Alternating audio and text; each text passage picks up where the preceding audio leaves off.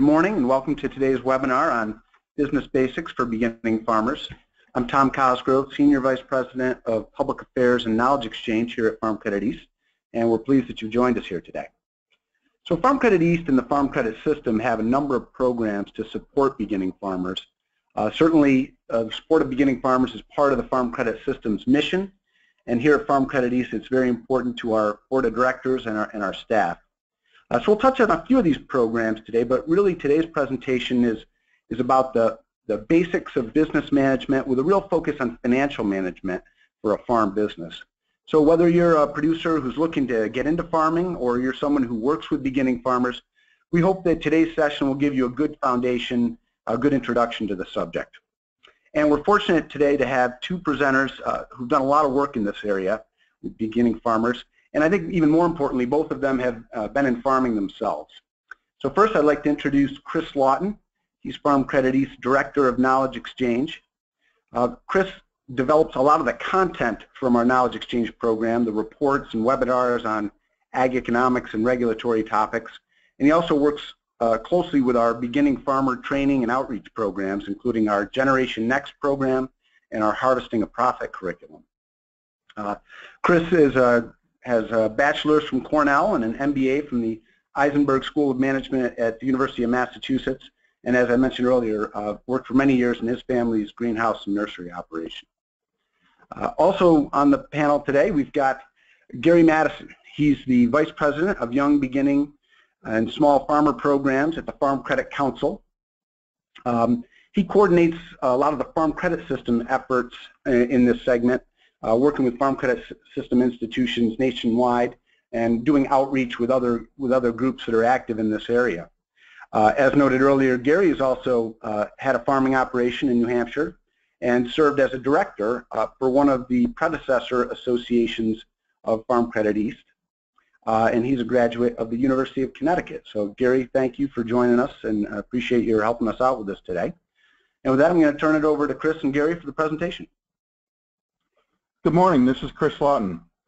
So our goal in this webinar is to describe some key financial tools, but more importantly to describe why these tools are important enough for you to take the time out of your day to learn about them.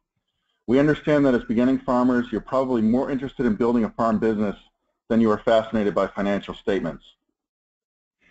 this is Gary. Um, learning how to use key financial tools is a lot like learning another language. Let's, let's call it the language of business.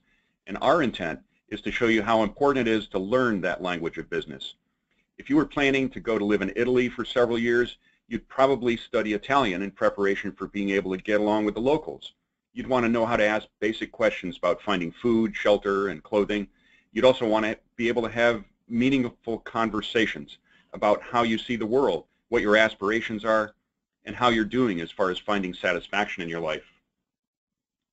So if learning the local language is necessary for a long trip abroad, so likewise is learning the language of business being necessary for your extended stay in the world of farm business. The more fluent you are in this language of business, the more likely you are to succeed. We all have some idea of what success on our farm and ranch operation will look like. Chris and I are going to make the case that by setting expectations for your business, which includes setting expectations for yourself, you'll have a much higher chance of achieving success in life. Farm businesses are typically intertwined with farm family life, and in fact, that's probably one of the reasons you're attracted to farming, because there's a special joy in having a seamless boundary between family and work that can produce a meaningful and productive quality of life. So it's pretty simple. If you want to reach your goal of running a farm business, you have to plan to make money. That doesn't mean that profit has to be the only or even the primary motivation. But if you don't make money, you can't keep doing what you want to do. If you are thinking you want to have a small business and not make a lot of money, stay at a small scale, that's fine. But you still have to have a plan for making some amount of money. Making money from your farm business allows you to have choices. If you fail to make money, there is a limit to how long you can keep losing money. Even if someone gives you a pile of money to do whatever you want, you still have to have some sort of plan to spend it and a plan to earn money by selling something. There are really only two choices, planning to make money or planning to lose money. And as you, as you think about how you're going to be making money in a farm business, there are three basic areas of business skills that are necessary for every business to succeed. And i in my farm career, I've considered myself a production guy. I like to do things. I like to get my hands in the dirt. I like to fix things. My, my best skill was as a producer doing the production part of the business. Um, it's also important to look at this list of three business skills and figure out what you're worst at because that's the business skill that you're going to need to substitute. Uh, you're going to need to bring in somebody else to help you with that skill. And most often, for beginning farmers, that skill that they're most efficient in is financial management. Great. So you probably have a picture in your mind of the things you need to build your farm business, like land, supplies, and equipment. We want you to think of farm business records as another essential component of putting together and operating your business. We know record keeping is the easy task to leave until last, especially in the rush of your production and sales seasons. But for your long-term success, record keeping is essential in order to make good financial decisions. In my experience, people tend to get hung up on the difference between making a plan and predicting the future. Nobody expects you to predict the weather and the exact amount of crop you'll grow. But if you don't have clear expectations, you will have no place to start and no way to plan what might happen. A lot of farmers look at record keeping as a way to comply with the legal requirement to file taxes in the spring. So at income tax time, that sort of farmers in a mad rush to collect paperwork to prove their income and expenses and end up finding out if they made or lost money only after the year is over and done with. We want you to think of record keeping as the basis to set goals for success, to measure your progress towards goals, and to find ways to get better at what you do by relying on your records to make management decisions. For example, if you, had a good, if you have good enough financial records, you'll know if you're making money on a particular crop and can decide either to get better at producing that crop or stop growing it. One of the hardest things to do in managing a farm business is to know when to stop doing something. Exactly, Gary. One of the things that I often tell beginning farmers is that you can only your, the decisions you make can only be as good as the information you base them on. And the information that you're going to base your decisions on are based on those records. So let's take another look at those three essential skills, production, financial, and marketing, that are needed to run a farm business and see what they mean in terms of managing the day-to-day -day operations. Managing a farm business boils down to asking yourself some basic questions. In order to answer those questions, you, have to have, you need to have records. Take a look at the question under production management that asks, what is the unit cost? Unit cost is, one, is what it takes to make one thing or unit of what you sell. That could be one flat of plants, one pound of peppers, one bunch of flowers. Knowing what it costs to produce one unit of what you sell allows you to set a price at which you know you will make money.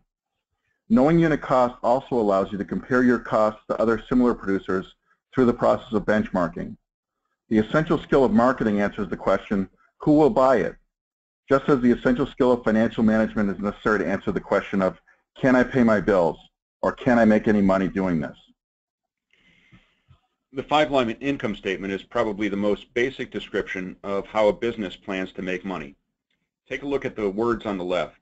That's a basic formula of gross sales minus cost of goods sold equals gross margin minus overhead equals net margin. You can see we put in a few other terms you might hear, like gross sales also being called total sales or income. This five-line income statement is what you need to know to describe how your farm business is going to sell something, sales, subtracting from that how much you'll have to spend on supplies and inputs to grow or make the things you sell, called cost of goods sold, and that equals gross margin. We'll, we'll come back to that in a minute. And then subtracting from gross margin the overhead costs equals net margin or net profit. Income statements can get a lot more complicated than this, of course. But this five-line income statement, statement is whittled down to the basic equation that describes how you plan to make money. If you don't know this information for the business you're going into, you're really just going to be pursuing a hobby. Business people make money because business people make plans. Great, Gary. The numbers shown in this five-line income statement come from a small part-time farm business that grows vegetables and sells at farmers markets, a CSA, and maybe even some farm stand sales. Everything in this example is sold direct to retail, meaning directly to consumers. This farm is producing crops for direct-to-retail niche markets, which is why the net margin of 10% is so healthy. By comparison, the long-term average for commodity crops like corn or soybeans is only about 4% net margin. This is a good kind of farm business to use as an illustration of farm business planning because the monthly cash flows are irregular. In the vegetable business, you have to spend money up front to plant the crop, then work hard to sell that crop months later in the future. The, the cost of goods sold, or variable costs, refers to those things purchased to grow the crop that are used up in a year, things like seeds, fertilizer, or fuel. For every additional pound of vegetables that is grown, it takes some small amount of more variable cost, for example, another seed or a little more fertilizer or a little more labor to pick the vegetable. Variable costs are usually things that are used up in the year that they're purchased. In contrast, overhead costs or fixed costs are those that whether you grow one pound of tomatoes or 10 pounds of tomatoes, you have the same cost. For example, you have to pay to rent the land whether you grow one pound or 10 tons of tomatoes. You have to pay the same rent. Same for things like insurance, taxes, repairs, interest, and depreciation. That's what the mnemonic DIRTY is all about. You can think of overhead expenses as being the things you have to have in place, like land to grow on, before you can even think about buying the seeds and supplies to plant the crop. Okay, so let's go back to that five-line income statement for a minute to understand why knowing the difference between variable costs and fixed costs is important. The basic formula, again, is gross sales minus cost of goods sold equals gross margin minus overhead equals net margin. So why is gross margin important? Gross margin is a way of measuring how efficient you are at producing a crop. A different way to understand it is to look at the five-line income statement by percent of sales over on the right-hand side of the chart. Using percent, what this says is that if I give you 60 cents worth of supplies, meaning the inputs we're calling cost of goods sold, you can turn that into $1 worth of sales. That's how efficient a producer you are. Gross margin is cost of goods sold subtracted from total sales. In other words, if you sell a dollar's worth of product and it cost you 60 cents in supplies to make it, you have 40 cents left over to pay for the stuff that you need to have in place, like the land, whether you grow one pound of tomatoes or 10 tons of tomatoes. So we can see that some farmers would have much higher overhead costs if they paid more in rent for land or actually bought a whole farm. Maybe they think they need to build a brand new barn or get a new tractor. That could make for much higher overhead costs, but not really make the farmer all that much more efficient at taking 60 cents of variable costs and turning it into a dollar's worth of sales. A low overhead business is one that does not spend a lot on land or buildings or equipment, but concentrates on making money by judicious spending on the big things and energetic management of the variable costs. Either way, if you don't keep good records, you won't know if you're meeting your expectations or if you're making money or not. Remember, this five-line income statement we've been talking about is for a whole year's worth of business. But farming requires constant adaptation to changing circumstances like weather and markets. Let's take a look at how this five-line income statement can help get us through the year month by month and help us answer the financial management question, can I pay my bills? Well, cash flow budgeting is a, is a pretty simple idea. This slide shows how it works. Taking our five-line income statement, income minus cost of goods sold equals gross margin minus overhead equals net profit. And then to that we add our checkbook. The orange lines show the balance in the checkbook at the beginning of the month, which is the starting cash, and the balance at the end of the month, or ending cash. The yellow line shows the difference between starting and ending cash, or how much cash has flowed through the five-line income statement and check checkbook. Looking at the red arrow at the bottom of the page, ending cash from one month becomes the beginning cash for the next month. The idea of tracking your monthly cash flow resulting from your business operations five-line income statement is that you will know how much income and expense are going to happen each month and how much money that leaves in your checkbook to pay bills. Great. So if we take this chart and zoom out and take the concept of monthly cash flow and plot it out over a year, it looks like this. This may be a little small for you to read, and that's not our intent. It's more to show what a full year of records would look like. Here we've taken the annual results of the five-line income statement and divided it up month by month. If you look over at the last two columns on the right, you'll see the familiar annual five-line income statement that we were looking at in previous slides. We still have our familiar five lines shown in green and our checkbook balance and cash flow in the yellow lines. So if we zoom out even further, this is what a monthly cash flow budget for a whole year looks like. There are lots of numbers here, but don't worry. Look for the familiar five-line income statement and the green lines. The white lines provide greater detail, but the, the five-line income statement is consolidated in those green lines. This cash flow statement is the same basic formula of gross sales minus cost of goods sold equals gross margin minus overhead equals net margin. We've just added a lot more detail to show what's used to produce the income, what labor and supplies are, are purchased to make up variable costs, and what part of overhead expenses are paid each month. Finally, down towards the bottom right-hand corner of the spreadsheet, we show the net margin in dollars at $13,959 and as a percentage, or 10.4%, for the entire year. And during this webinar, we're not trying to make you an expert in creating and using monthly cash flow budget spreadsheets. Our goal is to show you the tool and convince you that it's in your best interest to use it. What I suggest you do is go to the website listed here and download the live spreadsheet we just showed you and plug in some of your own numbers. What I'd like you to do is play with the spreadsheet. See what happens if you change a few numbers of income or expense so you can get familiar with how it works and get an idea of how this one spreadsheet really tells a story of what this small-scale vegetable business will do over the course of the year. Also on the website are sample monthly cash flow budgets for grass-fed beef and for pastured pork operations. Go ahead and play around with those too. You may find something uh, that you want to do in another line of business. Great. So as manager of your farm business, you're also taking on the role of Chief Financial Officer, whether you really want it or not. What that means is that you're going to have to make the decisions about how money is spent and how money is made. You can make money-related decisions without any financial statements, but that's kind of like driving down the road at night with your headlights turned off.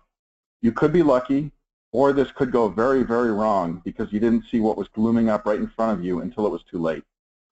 Running your business is up to you, and we think you need to use three financial statements in order to be able to see where you are going and know where you have been. Lenders want to see three main financial statements. We've already talked about the monthly cash flow budget at length because we think it's the most important financial statement from the perspective of a farmer. That's because the monthly cash flow statement does two things really well. As a budget, it explains the plan for the business over the course of a year, and as a way to track and monitor what is going on it helps you month to month by answering the question, can I pay my bills? From a lender perspective, what is most important is the balance sheet, which tells what you own and what you owe. Let's take a closer look at what makes up the balance sheet. Assets are things you have that you own or have control of. When you're young, you generally own fewer things, but it's important to know what you own, all the things you have, your stuff, so that you can take care of the things you're responsible for. Liabilities are the things you owe other people, things like loans, accounts payable, leases, and so on. So if you take what you own or control, subtract what you owe other people, what you're left with is, is what's called your net worth. Another way of saying net worth is wealth, or the sum total of what you have if you were to liquidate everything tomorrow and pay off all your bills and loans. A balance sheet is a snapshot in time. So it's going to change depending on the date at which you date that balance sheet. It's a report of your net worth as of a certain date. A lender wants to get to know your net worth in order to find out what you are bringing to the borrower-lender relationship. Getting a loan to buy a farm is really like a long-term partnership between the lender and the borrower, where the lender wants to know how much wealth the borrower is going to put into the deal and what they are willing to commit out of what they have. So let's take a look at a simple balance sheet to show what I mean. In this case, we use the same um, CSA vegetable farm that we talked about in the cash flow statement. So we took uh, a, a, snapshot as of January 31st. In the checking account, uh, she has $11,540. She has supply inventory of $1,000. That could be things like boxes and uh, packaging supplies. She has equipment that she bought uh, during January for $4,500. And she has some leasehold improvements. In this case, the farmer is operating on rented land, uh, but she has a hoop house that she's put up that's worth $10,000. Over on the liability side of the card, she has some credit card debt, and she has a loan of $4,500 that she took out to buy that equipment. So for total liabilities, she has $5,500. If we subtract those liabilities from the total assets, we come up with a total net worth of $21,540. If we look at adding the net worth and liabilities back, we come to $27,040, which equals total assets. In other words, those numbers balance, and that's why it's called the balance sheet. I knew there was a reason for that. hey, well, just a word on how these three financial statements are used to explain your farm business idea. That's the idea of a business plan, a written recipe for how you'll build and operate your business. A business plan is really just a communication tool that allows you to tell other people what you intend to do. A complete business plan for a new farm business will include a balance sheet showing your net worth on a recent date, an income statement that shows how you expect the business to perform in the first year or two, and a monthly cash flow budget for at least one year into the future. Writing up a financial statement that shows a projection of what you expect to happen in the future is called a pro forma financial statement. Great. So now we're going into the income statement. Uh, this is the third financial tool we think you should be familiar with. If the balance sheet is a snapshot in time that tells you what you are worth, the purpose of an income statement is to show whether the farm business made or lost money during a particular period of time. An income statement might also be called a profit and loss statement or an earnings statement. It all starts with income, what money the farm business earned or received. The expenses, subtracting expenses from your income, um, are, are going to look a lot like uh, what we did in the cash flow statement. Okay, and so the simple formula for an income statement is income minus expenses equals net income. You may be thinking this, this sounds a whole lot like a cash flow statement, and indeed it does. From a lender perspective, an income statement is just a more formal way of showing how the business earns money over time, with adjustments so that one year of business performance can be compared to another. The difference between the cash flow statement and the income statement is that the income statement also takes into account some non-cash items, such as depreciation and, and income sold on credit in order to show how the farm business makes money over time from one year to the next. Depreciation is the way to account for the wearing out of equipment over time. Let's take a look at a simple income statement, again using the same farm. So this farm sold $61,000, $61,200 in CSA shares, roughly farmers markets, and then a smaller amount on fruit sales, giving the total income of about $134,000. For expenses, we had the cost of goods sold, the, those expenses that went directly into the product sold of $80,000, $10,000 in overhead, and then here we've broken out owner draw as $30,000. That gives us total expenses of $120,000 in change. The result is net income of basically $14,000. That's what that farm has to reinvest in the business at the end of the year.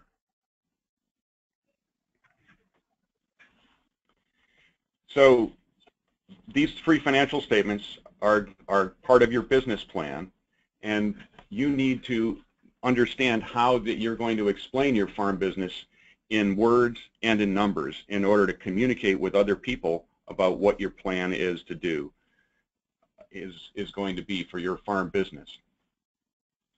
Great. Remember, don't get hung up on the difference between predicting the future and making a plan. Planning, particularly planning that uses a monthly cash flow business, is the way to test your business ideas on paper before making mistakes in the real world. Your ability to show a lender, excuse me, your ability to show a lender that you can reasonably plan for the future shows that you have the skill set to manage your business and succeed. Operating a farm business requires you to adapt to new conditions, threats, and opportunities on an ongoing basis. Change never stops. Managing change is the job that you signed up for when you became a farmer. So there's no question that your projections are going to be wrong. It's, you know, hopefully they'll be relatively close. But the key is that you can adjust and adapt as circumstances change and as the future goes on.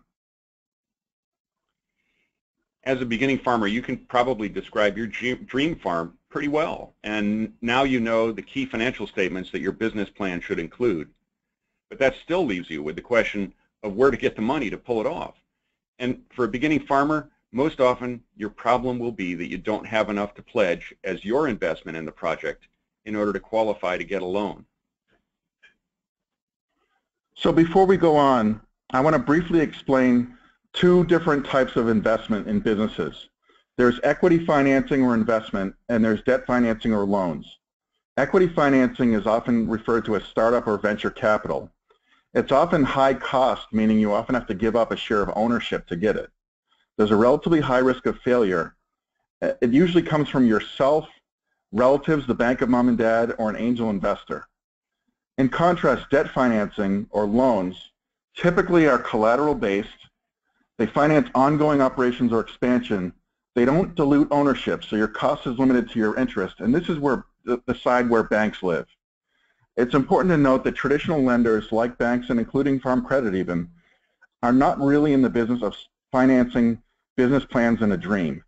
You're not likely to walk in with a business plan and a dream and walk out with a loan if you don't have collateral or some in, some equity of your own to invest in it, in that business. Now, there there are lots of options available for you to find as a lender. Uh, some offer very similar loan products, and some are much more experienced in farm business lending than others. And very importantly, some are easier to qualify for than others. Your decision on where to seek a loan should be a combination of these factors.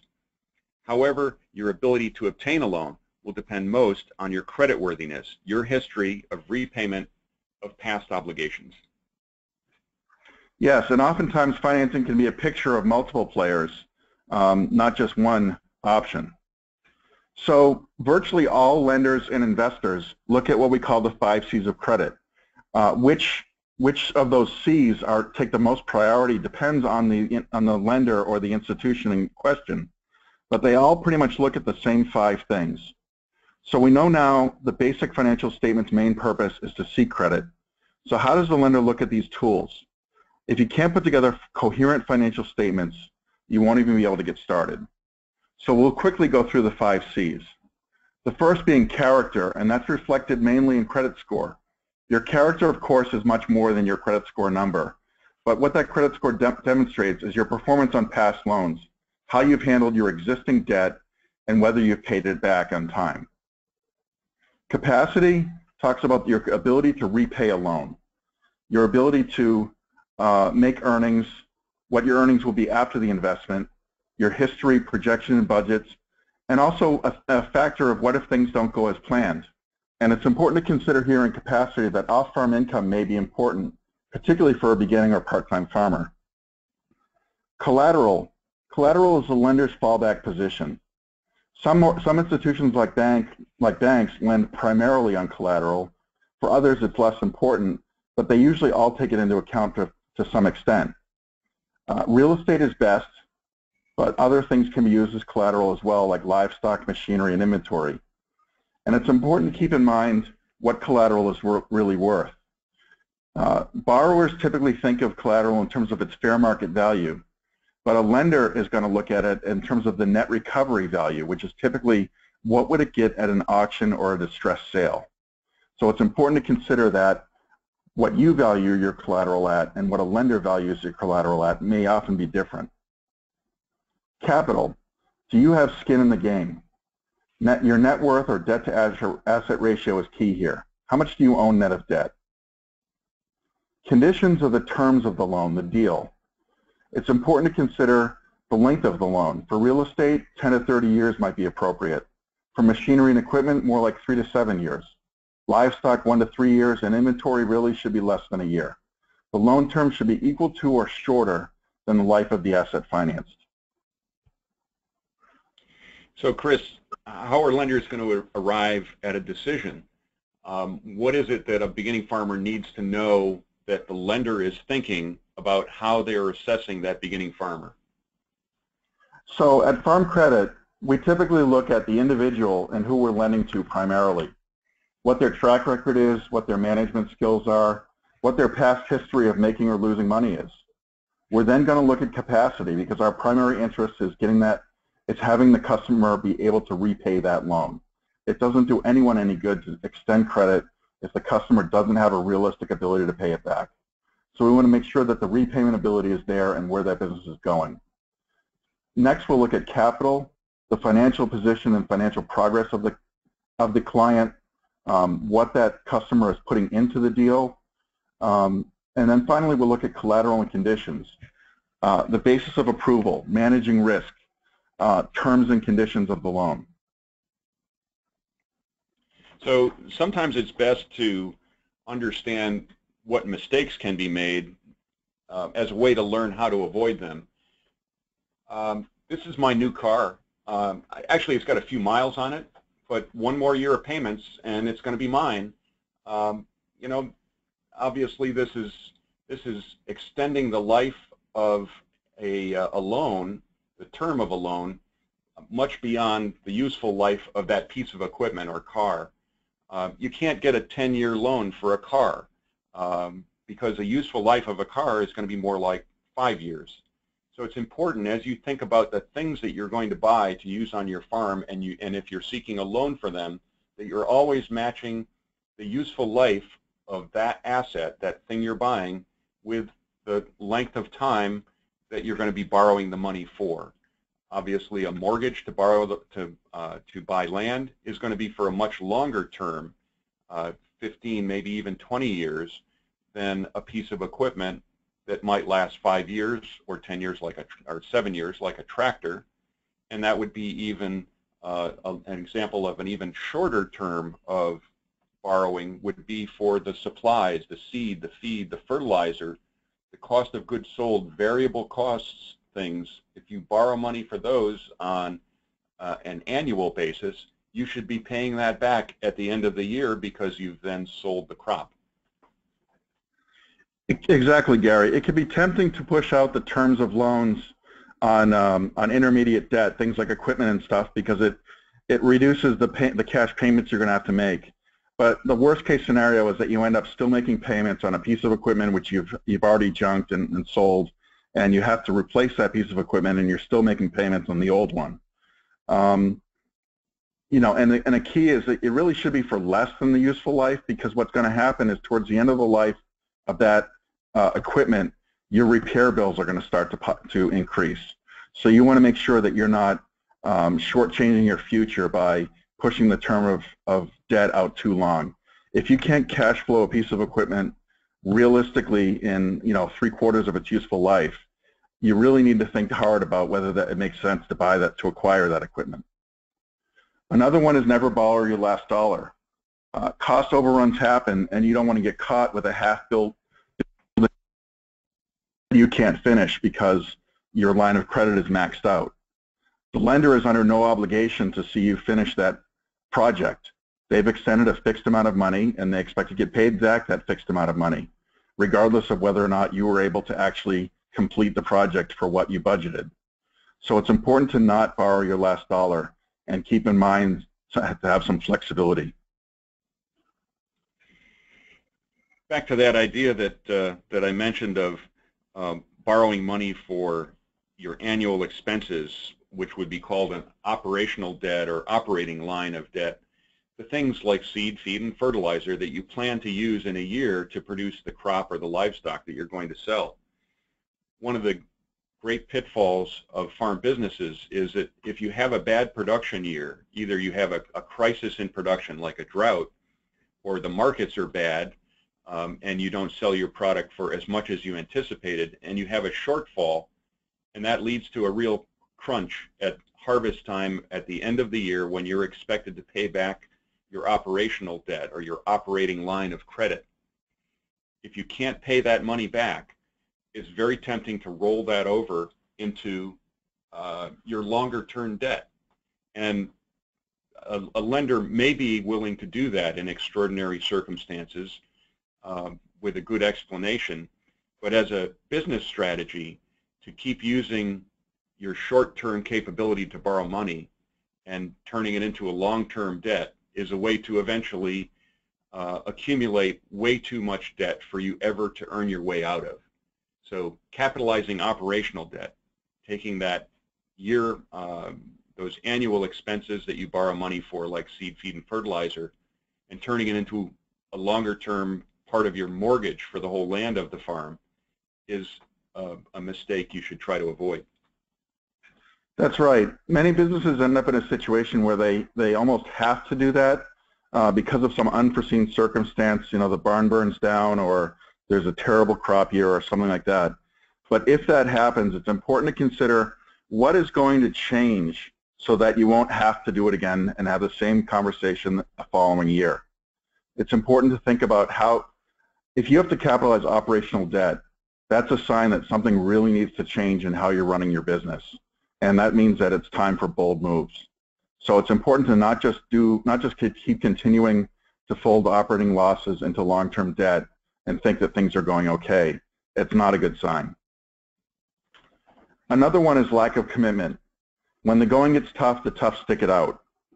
One of the things that we find as a lender is that sometimes when the going gets tough, people stop returning phone calls, they stop communicating with their loan officer, and people just kind of fall off the map. And that's, that's not a good way to handle it. Um, no one likes to have difficult conversations. Oftentimes people are embarrassed if they can't make payments or things aren't going well. But that's the time when you really need to double down and communicate more than you would if things were going well. That's the time when you really need to look at what needs to change. How can, how can I work with my creditors? How can I work with my business to make things get better and to stick things out? It's not the time to start dodging phone calls and letters. So some lender turnoffs. I thought we'd, we'd kind of wrap up with, with this. Um, things that don't, don't look good to really any lender, not just us. Uh, poor records are one. Um, sometimes we see farmers come in with a shoebox full of receipts. That's not a good sign. Uh, high existing debt. Um, that's a real challenge for a lot of beginning farmers. Um, it's important to keep debt at a, man, at a level that's manageable for the borrower and not extend credit beyond their ability to pay it back. Uh, low credit scores are difficult to, for uh, any lender to loan to because a low credit score typically is for two reasons. One is that you're either your existing debt is too high or you haven't handled past debt responsibly. Um, neither one is good and not handling past debt responsibly is, is the, the, the worst of the two because that creates doubt in the, the mind of the lender of whether or not you're going to handle this debt responsibly. Um, relying too much on collateral, not having enough earnings. Um, as we mentioned, for some lenders, collateral is the main, main concern that they have, and they'll just keep loaning money as long as you have collateral. At Farm Credit, our main concern is that you're, you're going to have the ability to pay that back because if not, then what's going to end up happening is that the bank will end up having to collect on that collateral and that's not something that anyone benefits from. Uh, a low personal investment. Your personal investment shows your commitment to the enterprise. Um, if you're not willing to put your own money into an enterprise, then you're you're asking your creditors to take more risk than you are. And again, that's not a good sign that your that your business is promising. Unrealistic expectations. One of the things that we do at Farm Credit East is we, we publish benchmarks on a number of industries they can be a good reality check to your projections and your forecasts to show what's possible in a number of industries. We, we um, produce them for about 10 industries, and they're a great thing to look at to, uh, like I said, reality check your expectations to make sure that what you're um, proposing in your forecasts are realistic. Uh, not having a plan B. Thinking about what if prices fall? What if the weather doesn't cooperate? What if a, you lose a major buyer? Um, things don't always go right. Murphy's Law, if things can go wrong, they will. Hopefully not everything goes wrong at once, but if your business plan requires everything to fall into place for things to work, that's a rather risky proposition. Build it and they will come business plans. Again, we talked about how people get into farming because they're good at production, and that's great. Production, of course, is the foundation of your business. If you don't produce a quality product, you're, you're, you won't get started. But it's important to think about marketing, and that's true whether you're wholesale or retail. Um, it's important to think about how you're going to make sales, how you're going to get customers, how people will find out about you. Um, keep in mind that unless you're, what you're introducing to the marketplace is fundamentally new, customers are already getting that product somewhere else. how are you going to convince them to give up where they're currently getting that product and instead come to you? It's a lot tougher than many people think, where they just have to produce the product and somehow it's going to sell. And then finally, a lack of cooperation and commitment when times get tough. Almost every business goes through some tough times, and it's important to know that your lenders and investors are in it for keeps, and you need to be too. Okay, so if you're the, the small farmer or small beginning farmer who's been listening to this, what you've heard us talk most about is planning. Uh, coming up with those financial statements that you need to understand as a financial manager of your business and the ability to write a plan that's going to be a recipe for how your business is going to succeed. But there are a few other things that we'd like to tell you about what you really should be thinking about before you try starting your own farm business.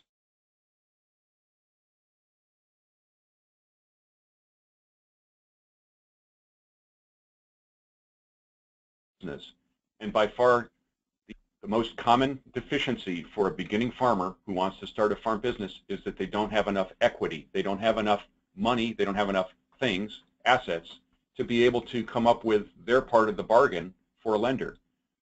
If you save your money, if you drive a used pickup truck instead of getting a new pickup truck, if you don't go out to eat every other night, if you really want to be in business, you're going to find those ways to save your money and be committed to saving that money um, in, in your time of preparation for going into business.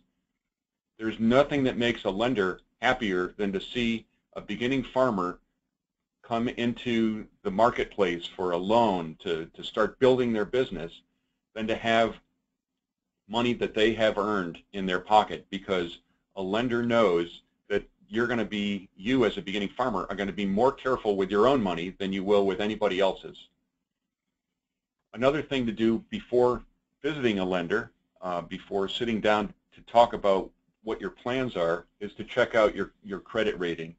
The worst time to find out that you have a poor credit score is when you're sitting on the opposite side of a desk from somebody that you're going to ask to, to lend you money. You need to know this ahead of time.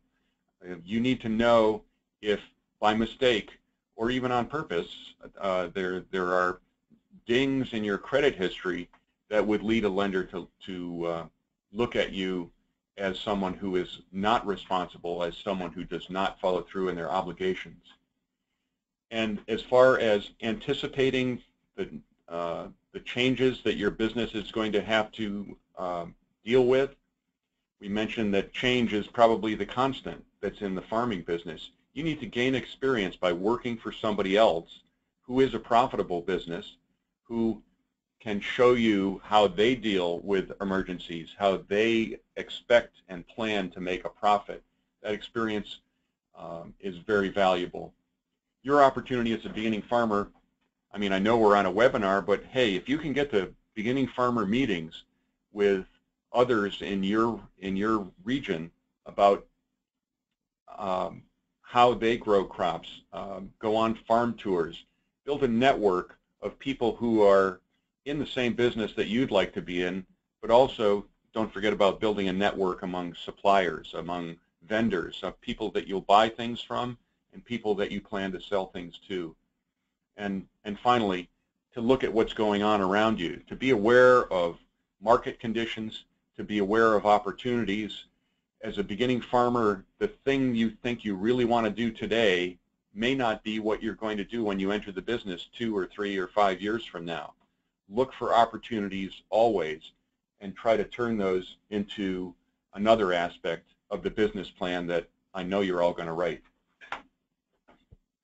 And another thing, when when you after you do start and start um, running an enterprise, remember to be flexible and be able to adapt to, to changing realities.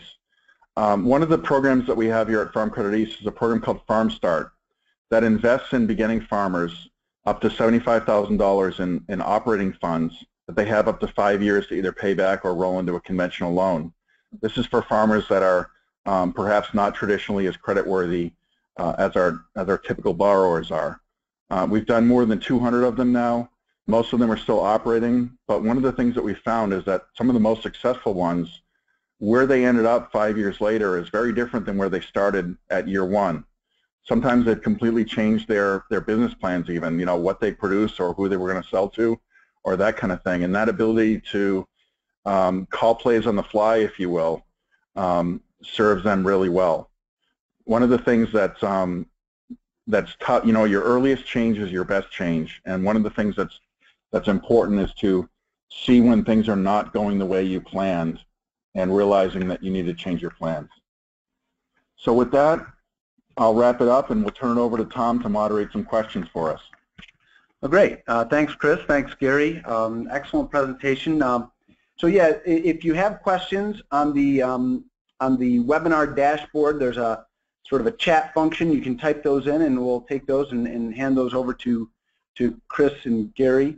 Uh, I would also mention that a couple people asked about the handouts.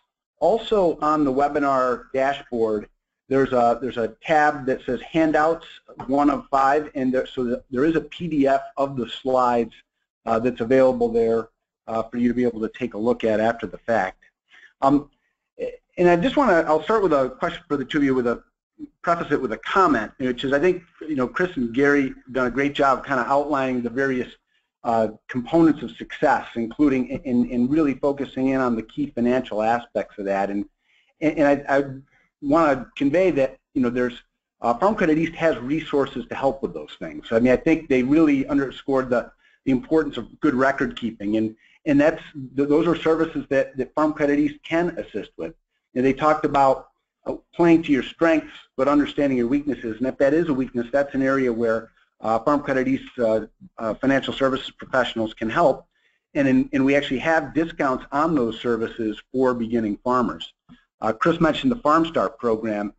You know, I think that's another good resource. If you go to farmcrediteast.com forward slash farm start, uh, you learn a little bit more about that program and see some of the success stories. And and, it, and it's great because it covers the whole range of agriculture and, and even fishing throughout the Northeast. Uh, and, and you know these are these are beginning farmers. These are startup operations uh, who, who had showed potential. And I think one of the key attributes of that program is that you get to work one-on-one -on -one with an advisor who uh, will help work with you on the record keeping, on the financial management, um, on the planning aspects of it. So, so that's another piece. And and and so then, and I think the other one I would mention in terms of our suite of services, uh, we talk about where things can go wrong is, is crop insurance. Um, that's also going to be a piece uh, in terms of risk management, and, and Farm Credit East does have a crop insurance uh, agency. Go ahead, Chris. That, that's right, Tom. We, you don't need to do it all yourself, and in fact, you probably shouldn't do try to do it all yourself. Uh, things like record keeping, tax preparation, payroll, uh, you name it, Farm Credit East has a lot of resources available and recognizing when you can use a hand and reaching out for assistance and things is uh, really a sign of, of um, knowledge and maturity. Sure. Um, and the other thing too is, you know, Tom mentioned crop insurance. Crop insurance is not just for, you know, the big guys or the corn growers or that sort of thing. There's crop insurance available for a, a wide number of crops in the Northeast, and it's important to keep in mind. It, you know, it may be something you evaluate and decide not to do, but you should at least look into it. Yeah. So, uh, so a question came in, um, and I'll, put it to both of you. So what avenues would you pursue if you're an experienced farmer, but you don't have maybe little to no collateral? Um, what would you, what would be the considerations as you thought about um, buying farmland? Uh, would you even consider that? Gary, why don't you take a crack at that one first, and then I'll have Chris chime in. Sure. Um, you know, if you if you don't have the, the collateral, the or the assets uh, on your balance sheet to be able to uh, borrow the money to, to buy farmland. And by the way, um, the, the more more risky you are as a borrower, and it sounds like this the person asking the question recognizes that they, they present some risk to a lender as far as being able to borrow money for land, the, the better your business plan has to be. Um, so number one, good business plan. Number two, I'd look for a, I'd look for a, a partner of some kind, somebody who um, who you know would would go in on this deal with you, perhaps uh, as simple as co-signing on the loan, uh, perhaps being somebody that you would actually give an ownership stake in that land to as um, uh, as uh, part of the way to utilize the capital that somebody else has to be able to in, invest in that farmland. I, I would agree with what Gary said. That um, that makes a lot of sense. One thing is that whether it's a, say a tractor or a piece of farmland, that asset in and of itself can be used as collateral, but it's important to make sure that you can cash flow the debt service on it. Um, the ideal is if you could cash flow the debt service today. Um, if you're relying on that asset to produce additional income that you would then use to repay the loan, um, that's of course more risky because you're you're predicting the future at that point. Um, but you know, keep in mind that you hope you can cash flow the debt service that's going to result from that as that acquisition. Uh, yeah, those, those are good points, and I think I think you know the other thing is that you know there are uh, services out there. I know there's one in the, I think it's called the Hudson Valley Farm Finder. I mean, depending on where you are, you know, linking up with say a, an existing farmer that maybe doesn't have an apparent successor within the family, uh, you know, is something being more more common, and, and you know that's a tough tough sort of matchmaking to do. But I know there are a lot of folks out there trying to help people to do that because a lot of people who don't have a successor, they want to see their farm stay in farming. Uh, and then if there are people out there with experience uh, you know, that maybe there's a way to, you know, at least get started on that farm and, and, and perhaps a path to ownership. So that, that might be a, a potential avenue. Um, another question, the one I wanted to lead off with, with to, to Gary and Chris. Uh, Chris, I'll let you start with this one. So when you see kind of the common characteristics of the success stories, you know, what, what are some of the things, you know, if you one or two that really are the things that seem to be common among those who, who are able to get started and be successful? Um, I would say a couple of key, I mean, there's a lot of things that, that lend itself to success, but a couple of key things are uh, having experience, having had a, a leadership or management position on a similar farm enterprise before you go off and start on your own. We sometimes see people that just want to start off on their own out of the gate, and that's very risky. Um, it's important to work for someone else and learn the ropes before you go off on your own. Um, having skin in the game, having uh, you know, more than 50% of the equity be your own rather than relying on creditors or, or uh, debt to finance everything. Um, those are two key ones. Uh, Gary, I don't know if you want to add some more. Sure, I'd, I'd throw in there confidence. I think that, you know, and I'm not talking about confidence like con man, like you're a really good salesman, although that, that may help. Um, but to be able to uh, as a beginning farmer to be able to have confidence that you've actually done the planning, that what you're doing when you're going to a lender is not begging for a loan. You're saying, you know, I've chosen you to be my business partner for the next several years, uh, and that's why I want to borrow money from you. It's a very, very different sort of, of uh, characterization and presentation for a beginning farmer to go into a lender with confidence rather than as uh, uh, you, you, should never appear like you, you're you're begging for the money. Uh, you should be starting a conversation with a lender with actually with a couple of different lenders to to sort of kick the tires and, and try them out before you actually need the money. That kind of relationship development um, as a beginning farmer is extremely important. Um, showing up in the in the spring of the year at a at a lender and saying, you know, I'd like to start farming this year, actually next week, uh, can I borrow fifty thousand dollars for operating costs? Uh, you're you're not going to be successful doing that. You need to have some degree of reasonableness that you're also expressing at the same time that you're expressing confidence that you know what you're doing and you have that that smell of success about you. That's very true, Gary. I mean, I would say ideally um, as a borrower, you want to be in a position to negotiate a loan, not beg for a loan. Um, you, the worst thing you want to do is go in and ask for money because you, quote unquote, need money.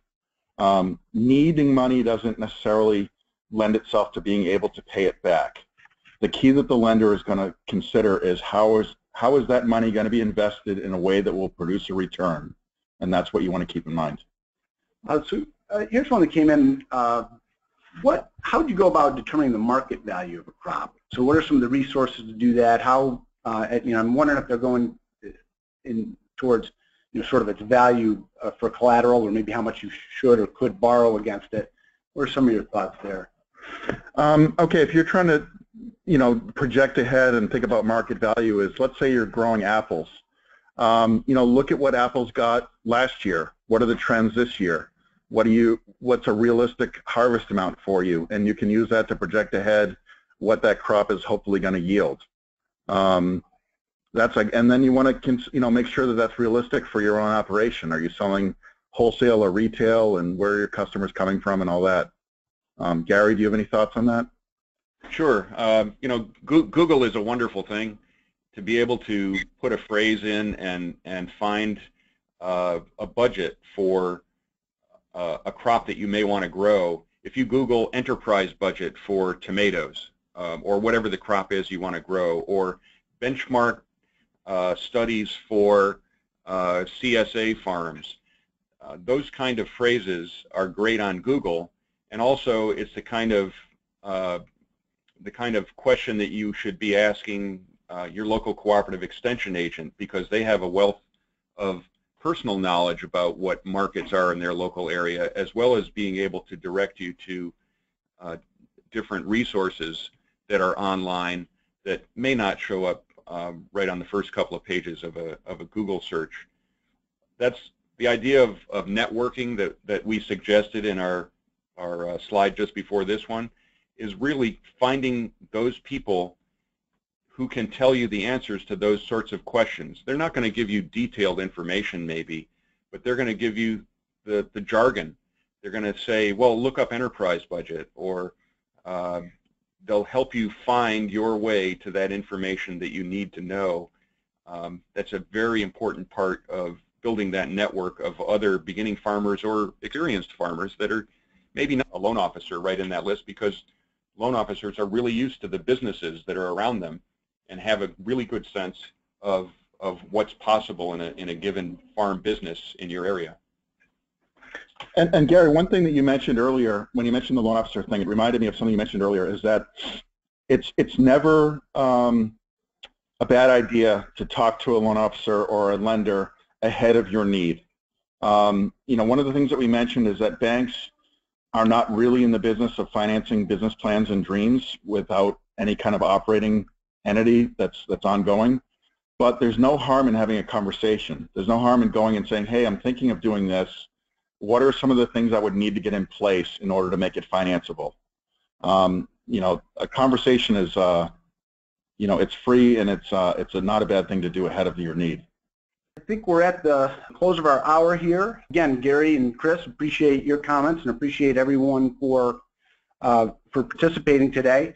Uh, more resources available at farmcrediteast.com. Mentioned the Farm Start program, some of the other services uh, that might be able to help you get started. So, uh, so with that, we're going to sign off and appreciate everyone's attendance. And I just want to put in a plug for our next, next webinar that's coming up uh, December 7th on grants and grant writing. This is for grants both for existing farmers as well as beginning farmers. We're going to talk about opportunities that are out there, how to find them, how to apply, and uh, what are some things to consider. So uh, be sure to keep that on your schedule.